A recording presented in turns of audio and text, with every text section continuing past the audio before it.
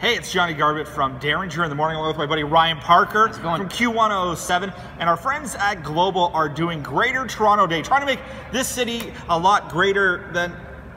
I'm doing my What- part. What are you doing? Greater Toronto. Greater Toronto. Cheese grater. Carry on. And so we're trying to. No, hold on. This is ridiculous. Hmm.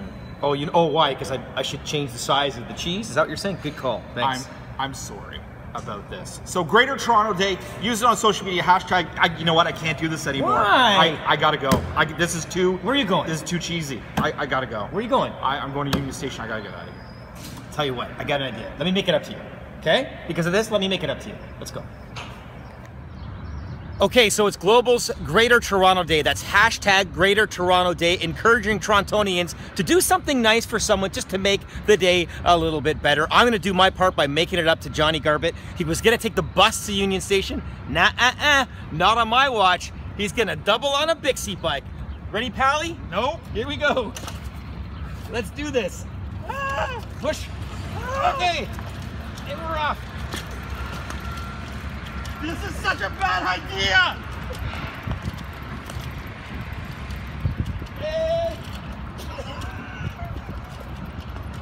this is the worst idea ever. You're making Toronto worse.